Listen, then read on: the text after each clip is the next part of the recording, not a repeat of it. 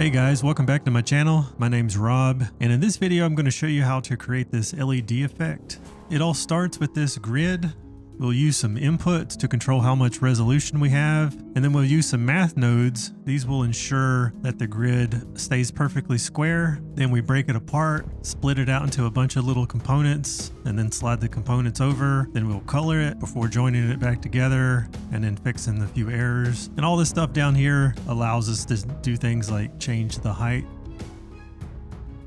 So we can do things like that and we can offset the texture however we want. And by the way, this project is available on Patreon if you want to get a copy of it. All right, so let's get started. Create a new project, switch over to the geometry node tab, select new, and then add in a grid, place it right in between there. Let's create two integers that we can use to drive the resolution of the grid.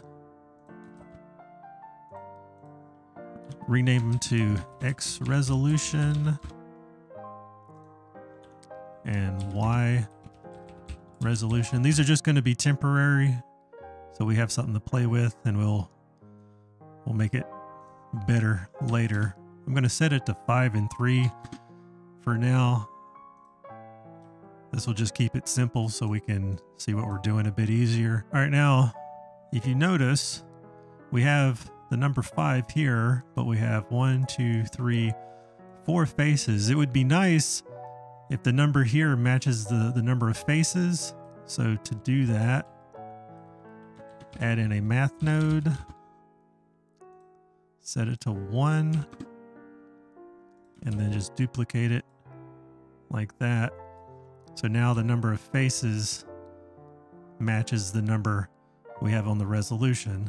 So far, so good. Now the resolution matches the faces, but they're not square. To get them square, we need to add another math node. Set it to divide. And we're going to divide the X resolution by the Y resolution. And then we're going to use this as the size for the X. This will ensure that it's square. We can measure these if you want just to prove it to you. So that's going to be a third, and that ends up being a third. So these are all square, and this is going to stay true no matter what we use. They're always going to be square. Let me switch these back to five and three just to keep things simple. All right, now let's create the subpixels. So what I want to do is split each one of these up so they're individual faces, and then we can scale them down. So to do that, I'm going to add in a split edges right after the grid. And then add in a scale elements. All right, switch it to single axis and then set the scale to be 1 divided by 3. And just in case if these aren't set properly, they need to be set to 1, 0, and 0. All right, so we had, we did have a cell right here but then it got squished down along the x-axis. So that's good. Now we need to duplicate these two more times and then join them back up. So let's add in a join geometry and a transform geometry, but don't connect it to the main geometry because we need to split it off like that. Now, when we slide this over, we get another copy and you'll see at some point, there's some point where it's going to be flush with the next one. So if we think about this, let's uh let's mute some of this stuff. So if we think about this, right, this the length of this right here is being calculated it's this size X, right? And this size X is being calculated by the X resolution divided by the Y resolution. And we need, we just need one of them, which is, which is going to be this divided by X, which is the number, which is the resolution. But, but this simplifies because these uh, X's will cancel and this will simplify to one over Y. But we don't need just one of these. We only need a third of it.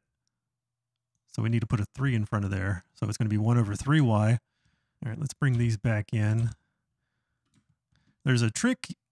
You might think you need two math nodes in order to do this, but there's actually a trick to do it in one. So let's duplicate a math node, set it to divide.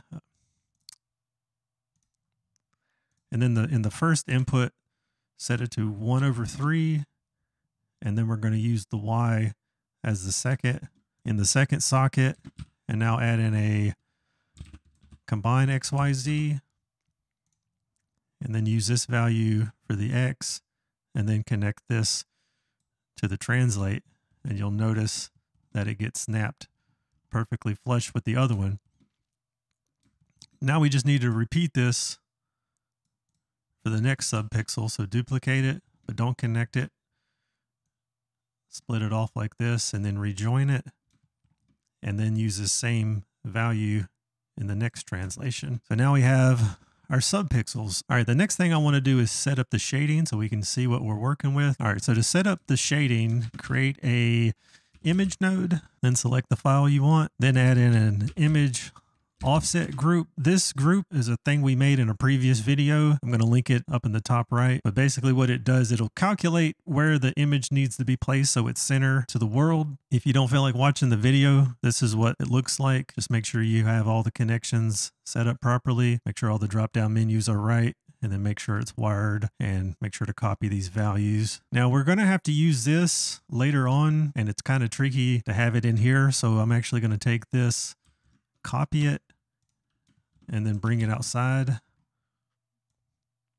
and then delete that. All right, now we need a image texture. Connect this. Connect the image to the image texture, and then this vector is going to go into the vector there. And then connect the color to the group output. All right, now over on the modifier stack, set this color, name it something. It can be whatever you want. I'm just going to name it color. And then on the material properties, delete the default material and add in three more slots and three more materials and then rename them to red, green,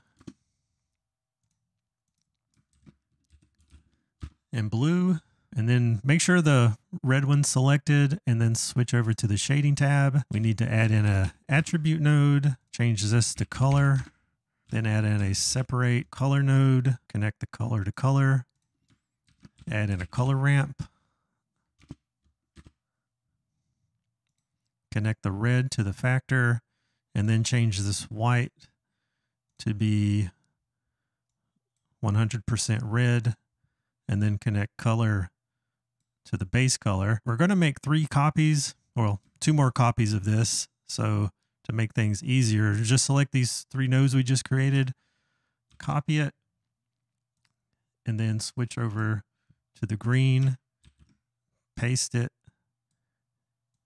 reconnect it, and then just make sure that you have the green go into the factor and change the red to green and then just repeat that for the blue. Once that's done, head back over to the geometry node tab. In between here is where we're to actually set the material. So go ahead and create a set material, place it on the first one, set it to red, and we can switch over to shading so we can see. So we're starting to see something already.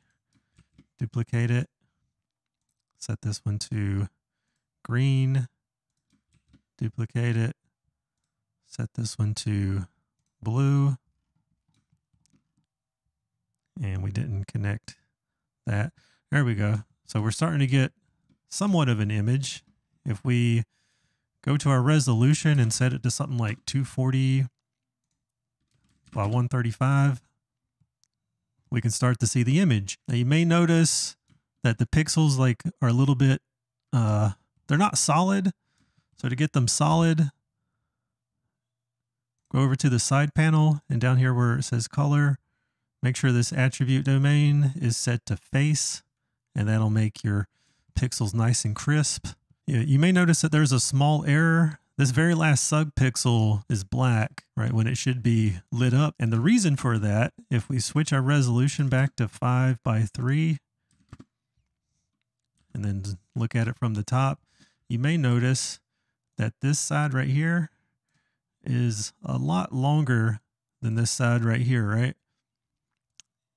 And that has to do with how how we made this. So originally we had a, a square right here and then we squished it down and then slid it over twice, which means everything is shifted to the right a little bit. So we have to undo that. So to undo it, create a transform geometry and place it just after the join geometry. And we're just going to slide this back. Now the distance is going to be the inverse of whatever's coming out of this combine XYZ. So an easy way to fix it is just to take both of these nodes, copy them, set it to multiply. And then for the second one, I'm just going to set it to negative one and then take this output, connect it here. So all that does is reverse it. So now it lines up right in the center and we don't have that dead pixel anymore. All right, so we're getting the effect, but I would like to take it to the next level. In the intro, the height of the pixels were distorted. To get that effect, what you need to do, let's make some space between, uh, let's make some space right in here and then add in a set position node right after the split edges and then add in a noise texture. Set the scale to something like 1.12, something kind of small. And then add in a combine XYZ, connect the color to the Z, and then the vector to the offset. So that'll distort the image. It looks mostly right, but if you look really closely, you'll see that it's moving each subpixel individually, which doesn't look right. Every pixel should be flat. So like every three pixels should be flat. So to fix that, all you need to do is add in a evaluate on domain, set it to vector, set it to face, then connect it like that and now each pixel will be flat. Now it's looking good, but we don't have much control, and I'd like to fix a few issues. The first is that it's not centered on the z-axis, so if we increase the scale by adding in a math node and place it just after the noise texture, set it to multiply. Now if we increase the value, it'll yeet off to who knows where right? It would be nice if we could play around with this value without it yeeting. So to fix that, add in a map range, place it just after the texture node, and then set the two min to negative one. This makes the midpoint of the texture to be lined up with the midpoint of the x-axis. So now when we increase the value, it hovers around the center and it doesn't yeet. Also think it would be nice if we could control where the noise texture is located on the image. So to do that, add in a vector math node, connect the vector to vector, and then add in a uh, position node and connect this to one of them. It doesn't matter which. Now when we move this around, it moves the texture around. This can be connected to the group input, so we have some control over it. You can go ahead and do the scale on that. You can rename them if you want. So far, we've been using these integer inputs to drive the resolution, but I think it would be nice if it were more customizable. Let's set it up so when we have a value of 1, this represents full resolution. When we have a value of 2, it'll represent half res. 3 would represent quarter res, right, and so on. All right, so to do that, click the group input and then add in a new socket change its type to integer, rename it something like resolution, set its default to 4, its min to 1, and its max to 8. And then on the modifier stack, make sure it's set to 4 as well. If you're on a slow machine, be really careful. If you set the resolution too high, it could crash your computer. Now would be a good time to save your work if you're following along. It would also be a good time to hit the like button and subscribe if you haven't already. All right, so to get the resolution to work, don't delete these just yet. We're going to use these as a placeholder. All right, so start off by adding in a math node. Set it to power.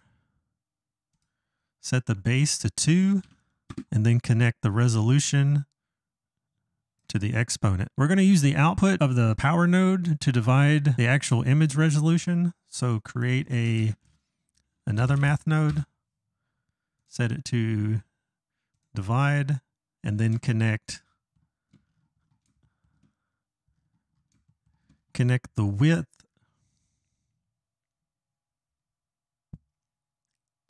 to the first input and the power node to the second input. And then we can connect this to wherever the X resolution is going to.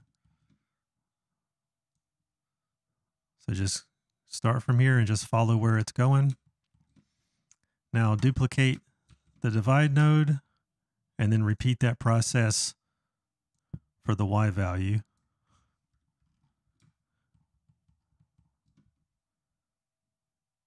So take the height, place it there.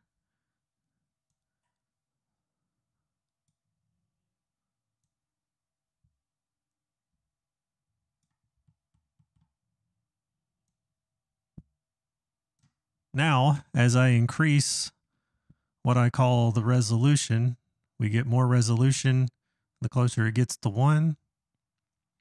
And if I increase it, we start to lose resolution.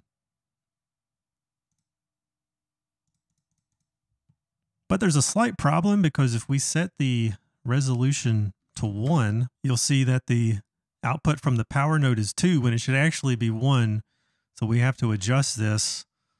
So I'm going to set it to, I'm going to set it back to four. I don't actually want to go to full res on this image just because it's really big. Yeah, and I want you to be careful here because if you get careless and do something like duplicate the power node and set it right in between here, it could cause problems. It's, it's not going to cause us problems because we're doing, we're basically doing like one over that. So it would actually decrease if this increased, but it's just a bad habit to get in. So just be careful here. So I'm going to create a, another math node, set it to subtract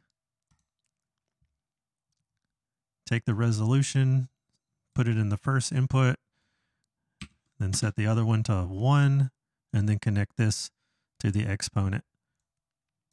So now when this is at 1, it really is full resolution. Then 2 is half resolution and so on. And by the way, this is just one way of doing it on the Patreon file. I've got it set up so you can do it two ways. So we could sit here and adjust it this way, but I also think it would be nice if we could do it in a in like a smooth way. So I have it set up so you can use a uh, a value of zero to one. So as we go to zero, the resolution drops to zero, and then as we increase it to one, the resolution increases to hundred percent. So that's another way you can do it, and I've got that set up for you to do it automatically, you just have to toggle this use zero to one switch on or off. And that's pretty much it, guys. Thank you so much for watching. I hope you enjoyed this video. Have a good one and take care.